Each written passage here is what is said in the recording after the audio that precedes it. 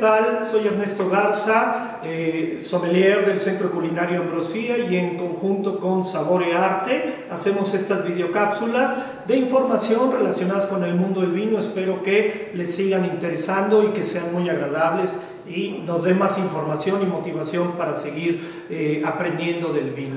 Dando continuidad a nuestra cápsula anterior que hablábamos de vendimia, es importante comentar que no solo es la maduración de la uva visual, el color y después del muestreo el contenido del azúcar, de los taninos, de los antocianos, de los ácidos para que tengan un equilibrio este fruto y se pueda obtener un vino de calidad, sino que además es muy importante tomar en cuenta el clima, es un problema para el agrónomo, para el enólogo, estar pendiente dependiendo la zona de cultivo, de producción, del clima. El clima es muy variado, muy cambiante. Y hoy que todos estamos viviendo estos cambios climáticos en el mundo, pues altera un poco el trabajo de estos profesionales en el viñedo.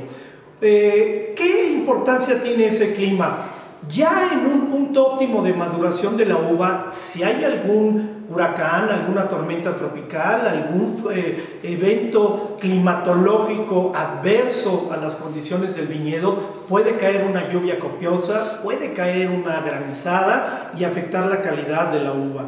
En el caso de la lluvia, una lluvia copiosa, el agua se transmina, se drena, se, integra al, al suelo, al subsuelo, y la planta natural e inmediatamente va a absorber esa agua que le da también nutrientes. El grano se infla, cambia el equilibrio entre todos esos componentes, ácidos, taninos, antocianos, azúcares y ya afecta la calidad del mosto y por ende del vino. Entonces es muy importante para el enólogo, para el eh, viticultor, tener pendiente de todas estas eh, cuestiones para encontrar el momento óptimo de la vendimia, de la cosecha de la uva.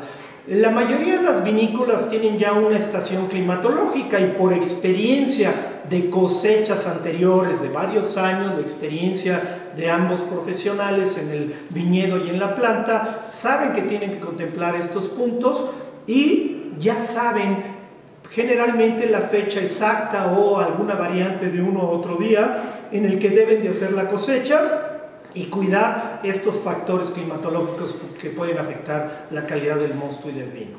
Hasta la próxima.